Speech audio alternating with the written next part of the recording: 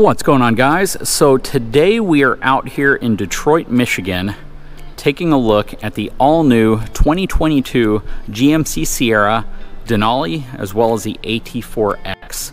These are all new trucks for 2022 and GMC invited me out so I could spend some time with them both exclusively to give you all my impressions of both of these trucks, some of the things that they've done and some of the changes that they've made. But I'm liking what I'm seeing. Hang tight, I'll be right back.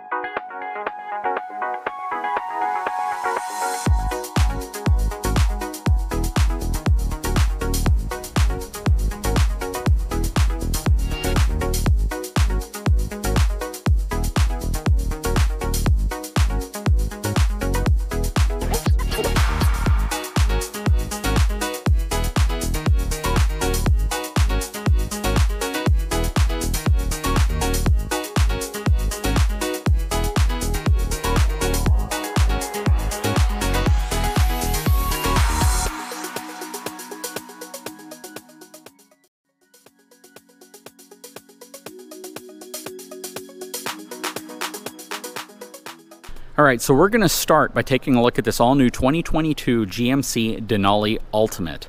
So this is their ultimate truck, their highest end, highest trim level truck with all the bells and whistles, all the gadgets, everything. Okay, so first of all, I want to start off by saying both of these trucks are pre-production trucks. So I don't have a sticker on the side that's going to give me the gross vehicle weight rating. I don't have all the information related to the towing capacity or the payload capacity of these specific vehicles. That's going to be provided to me later. But I do have an opportunity to spend as much time as I want on the outside and the inside of these trucks going over some of the features and the changes that they've done. I can tell you right off the bat, they've done a phenomenal job in terms of refreshing the look of the truck. You know, whenever you compare a Chevy to a GMC and you kind of look at the differences between the grills, between what they do to some of the body lines, in most cases, I think most people would say that the GMC truck tends to have more of a luxurious, elegant look to it, whereas the Chevy tends to have more of an aggressive, in your face look to it, especially if you're looking at the new Chevy heavy duty series trucks. But when you look at GMC trucks, they almost universally appeal to people in terms of the overall look. I can honestly tell you that of all the current half ton models, the 2022 GMC Sierra probably has the most appealing overall look to me. I have always loved the front grille on a Denali, and that's taken me back to even when I was a kid. You know, growing up, whenever you saw a GMC truck, especially when they first started coming out with their Denali lineup, and I was in my teens and I was looking at getting, you know, a first pickup truck, you always looked at that as that premium, almost unattainable truck because it had that really bold grill. And I love that they've continued that even to today. So whenever you see a Denali, you almost instantly know it's a Denali just by that awesome, bold, kind of meshed looking grill. And they've carried it on to this 2022 model really well. You can see your parking sensors. Of course, you're going to have your 360 degree cameras, and a lot of the camera systems now integrate in with the towing technology on the truck. So you really have not just a lot of cameras, but you have functional cameras that can help you if you're going to be towing as well. I absolutely love the look of these new headlights too. The overall design the elements that they've mixed in, the LED, everything on these trucks just stand out and it looks really bold. And this is one of those trucks that's eye-catching when you see it going down the road. It's not just going to be one of those humdrum trucks that you just, you know, pass off as being a standard vehicle. These Denali Ultimate trucks look absolutely gorgeous. Now coming around to the front, you can see all of the really nice shiny accents that they've put around the grill and the lower portion as well, plus the fog lights down at the bottom. Paint job is absolutely gorgeous. And then we're going to take a look at these Bridgestone tires. These look like they're 22 inch wheels. Let's see if I can get to the right area so I can actually see. Yep, 275 50 22s. Trimmed off really nice. This has always been something that's kind of been a staple of the GMC, just having the, the plastic trim around the wheel well to accent your wheel well, make it look a little bit bolder. See the Denali badge down the side. You can also see the Ultimate designation right here with the 6.2 liter V8. same critique that I give all half ton trucks. I wish that all the mirrors that came on these trucks were towing style mirrors. They don't need to be the big gaudy towing mirror, but it would be nice to have the lower spot mirror below it because I think that that's important. And if you've used towing mirrors, that's typically your go-to mirror. Coming this way, so this is going to have your automatic retracting and extending side steps. Nice chrome window accents as well. Coming to the back. This has three leaf springs on the back. It's always interesting to see what direction truck manufacturers go in terms of their rear suspension. Some of them going independent, some of them going with traditional leaf sprung. And as as of right now, GM and Ford both stay with the traditional leaf sprung, whereas Ram and Toyota have gone with a coil rear sprung suspension. Frame is still the Knox coated frame.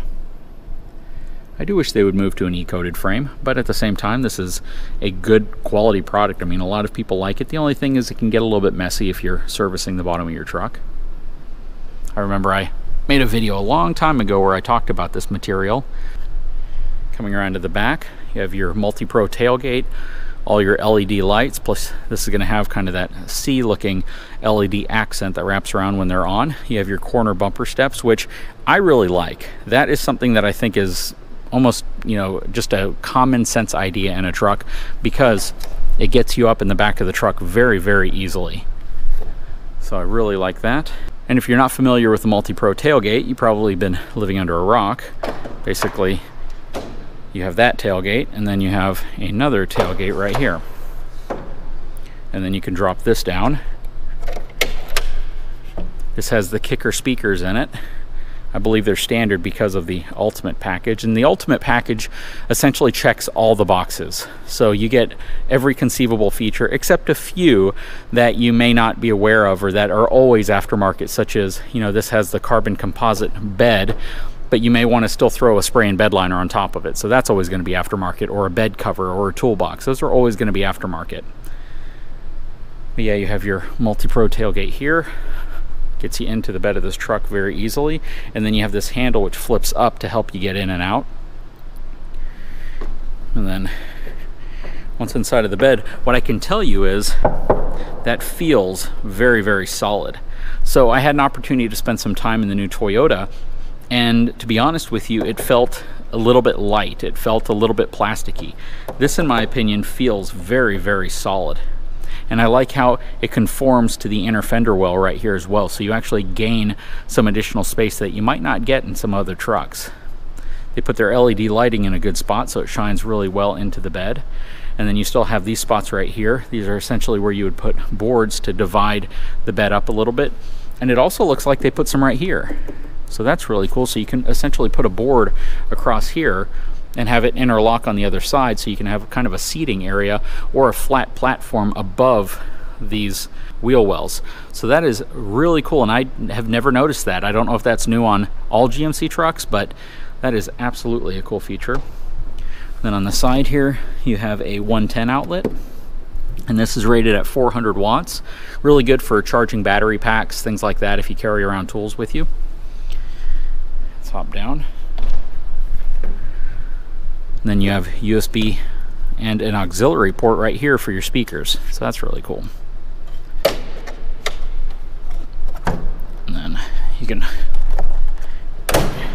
it's a little bit awkward trying to put the thing up together like that, but it's still functional. If I had both hands and I wasn't holding a camera, it'd probably be a lot easier, but just something worth noting.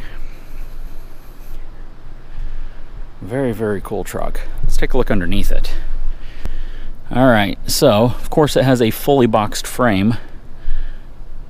Then you have your axle back here, spare tire in the back, your exhaust hanger. One thing worth noting, in case I forget whenever I get over to the AT4 Plus, is you see this really really nice looking exhaust system that comes through the bumpers. They don't do that on the AT4 because of your uh, departure angle, right? You don't want to run into a scenario where you may drag these over dirt whenever you're, you know, going up a hill or up something uh, in an off-road environment, and you know you could potentially damage it. So that's why they tuck them up and in, so you don't have the chance of hitting your exhaust pipes. two inch receiver. Coming back around, let's hop inside this truck and take a closer look at the interior. I love the interior of this truck, like the retracting and extending side steps. All right, now that we are inside, I can honestly tell you they did a phenomenal job. And a point that I made out in another video is you know, in today's era where you're hopping in and out of different trucks and you're seeing what they're all doing and how they're all trying to appeal to you, you kind of wonder if any one of them is going to rise to the top and stand out. And I can honestly say that what they've done here is pretty remarkable. It is such a departure from the current generation Denali or any GMC truck that it really, really makes you feel as if they got the message that it was time for them to innovate and come up with something different. I mean, even the engine start stop button is different. It's no longer round, right? They integrated it in. This entire area right here, it looks absolutely gorgeous. And then you look at the 12 inch little uh, dash cluster right here, that's absolutely beautiful. And apparently there's this design that I haven't had an opportunity to see yet whenever you get up to the truck and you get in where it kind of swoops across this screen and then onto this screen right here. So you got your 13 inch screen here, you got your 12 inch screen right here, and then you have all the buttons and knobs where you would expect them to be because what you don't want to have to do is go through your climate buttons, go through all of this just to get to different settings that you're trying to get to whenever you're using your truck and driving it, you just want to be able to press a button. You want to turn on your air recirculation. You want to be able to adjust your temperature. You want to be able to do these things without having to fuss with this large, beautiful display. This is great for cameras. This is great for getting to more detailed information that you want to know, navigation, all of that. It's great for your radio. But whenever you want to just get certain things done, it's great to have buttons, knobs to be able to control those, especially like dropping your tailgate, downhill assist, your parking sensors. This is a big one. If you tow trailers, or if you have your tailgate down for any period of time, being able to turn off your parking sensors is huge. Because if I'm hitching up to a trailer or if I'm towing a trailer and I have my parking sensors turned on, they're constantly beeping at me the whole time. So having a button to quickly turn them off and on is really good. I mean, it's just set up really nice. And then you have your power and volume knob for your radio right here. So you can simply turn everything off or on from this little area. They have done a fantastic job in here with the interior. All the wood accents, real wood on the doors, even the stitching. Check that out. It's like this cross X stitching on the door. The seats, they also put it right here in this area. I love the placement of this trailer brake controller. To me, this is where it should be on just about any truck. It gives you quick access to it. If you're driving and all of a sudden you get into a sway scenario where your trailer's kind of being blown around by the wind and you need to get it back in line, well, if you know what to do, you know that you need to typically accelerate or maintain the same speed and then start working your trailer brake control so you can get everything kind of back in line. And when it's up here, you're trying to steer and you're trying to control all at the same time. And having it right here is just common sense because it's right where my arm is. I don't even need to take my arm off of the center console. I'm controlling my trailer brakes from this area. That is really cool, and that is such a great feature. I hope this interior carries over to the heavy duty trucks. I really do because this is a phenomenal interior. I can imagine you're still going to have a console shifter on your heavy duty trucks, but who knows? I mean, the fact is that there's really no need for a console shifter anymore whenever you can just have this style shifter right here. You know, even if they went to a knob, which I kind of don't want them to on heavy duty trucks, but even if they did, it's still functional and it does what it needs to do.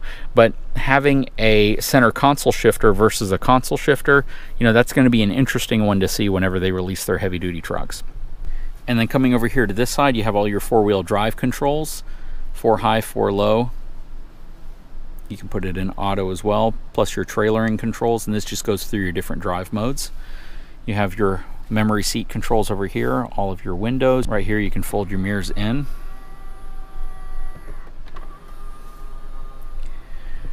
and then you can control your mirrors right here. All of this feels very normal, right? None of this feels like it's any big departure, but it's still very easy to get to.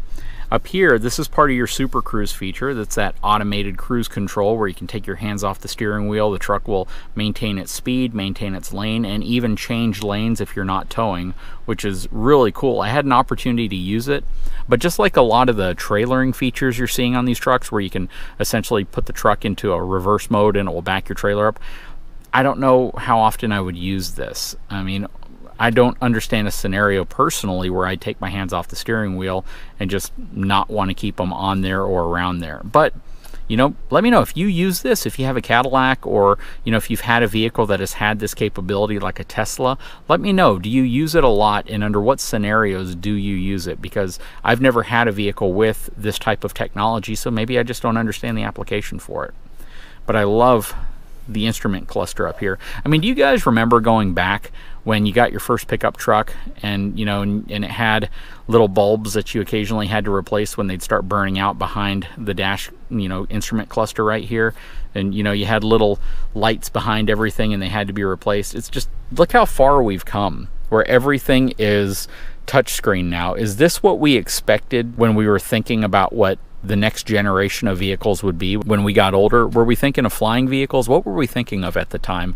And i kind of wonder does this meet the criteria of what I was expecting we would have 20, 30 years ago? You know. Anyways, let's hop into the back seat and take a closer look at the back of this truck. Okay, so before I hop into the back seat, again, take a look at the stitching right here. This is absolutely beautiful. They've done a great job. I love the real wood right here, all the nice soft touch leather material, and suede headliner. What do you guys feel about that? How do you feel about having a suede headliner? Is that something that catches your eye? Are you indifferent to it? How do you feel about it in general? Then these back seats are beautiful seats. I love this area all up here, all the trimming, all the embroidery. And then, of course, you have these little storage pockets back here, which for me, I mean, I stuff stuff everywhere in my truck, whether they're wipes, whether it's sanitizer, whether it's hand cleaner, whether it's gloves. You know, I put things all throughout my truck, and any extra area of storage that I can have, I would use. Then hopping inside, you know, good amount of leg space. I'm going to say from the front of my legs to the back of the seat, and this is with the seat in a very, very reclined seating position. I still have about three inches. I can't imagine that I would be uncomfortable sitting back here, even on a long trip. They've done a good job. Then you have your air conditioning vents, which I love. One USB, one USB-C. I almost feel as if they should have a few more back here. I think people are bringing more and more connected equipment, and if you have two people sitting in the back here and they both have their own thing, you might have an iPad, you might have some phones, you might have other things that need to be charged or you want to maintain a charge on, and having more of these back here I think is always a good idea. Plus a 110 outlet would be really nice. That's about the only thing I think is missing back here. A standard 110 outlet or even a standard cigarette style 12 volt jack. As much connection options as you have back here I think would always be appreciated, at least in my opinion. Okay, looking up front, you have your sunroof. Still no panoramic sunroof offering, which I don't blame them. I would give up my panoramic sunroof if I could. If I was going to get a sunroof and I wanted one and I could really pick which one I wanted, I'd likely go to this style because it seems as if there's less areas where it could fail. But in my opinion, I'm just not a big fan of sunroofs on pickup trucks, to be honest. I know on a dealership lot, when you're walking around, they always look really great and they're always that thing that you're like, oh, this truck has a sunroof but I never use mine. And if I do use mine, it's only because it's there occasionally and I want my daughter to be able to look out of it when we're going through a car wash or something like that. But let me know your opinion on sunroofs. Do you love them? Do you hate them? Do you not care? Do you forget that they're there until, you know, that one time that you feel like you need to use it over the life of owning a truck? Let me know. And then panning around here, I do like the center console nice and flat. I don't feel like my arm's sitting over a hump like on the uh, previous to the previous version or the current version before that had this little hump in the center but the current version they eliminated that. It's now flat and they carried that over into this model which is really nice. I like the tall headrests back here as well. Has the power back window. I do like what Toyota does though by having the whole window that drops down. I wish all the manufacturers would do that. You definitely can be tall sitting back here because this bumps up pretty high so that's about a two and a half inch lip right here. So you got plenty of, of headroom above your head whenever you're sitting back here. Very, very cool truck. And I know everyone's going to want to know the numbers. They're going to want to know pricing, all of that. I don't have any of that information yet. Um, hopefully it'll be revealed very soon. Probably by the time you see this video, some of that information might be revealed. But overall, I like this truck. Absolutely gorgeous. Okay, so that is the Denali Ultimate. That's the outside, the inside, everything I know about the truck right now. What do you guys think? I think it's an absolutely gorgeous truck. And you know me, I'm trying to be as unbiased as possible when it comes to trucks. I want you guys to know how I feel about them when I look at them. You know, the honest truth is when you spend as much time as I do in various trucks and you use them for various reasons, you kind of become a bit desensitized to trucks unless something really stands out. And I think the folks over at GMC did a great job of really making this truck stand out. They did a phenomenal job. And in my opinion, I don't think there's much out there that can compete directly against it. I love the interior of the current generation Ram, especially in a high trim package, but I can honestly tell you, sitting in this truck, I feel like they've they've one-upped them with the GMC Denali. And I think a lot of people kind of expect that to happen because again, the Denali brand has always been synonymous with luxury and that higher upper scale truck. That truck when again you were a kid, you believed was almost unattainable because it was such a nice vehicle. And you always saw all the business owners and all the contractors driving around in them because you knew that they had made it. Well, I think they've given you the next version of that truck that will make you feel like you've made it. Anyways, next video, we're to showcase this AT4X, which is super cool.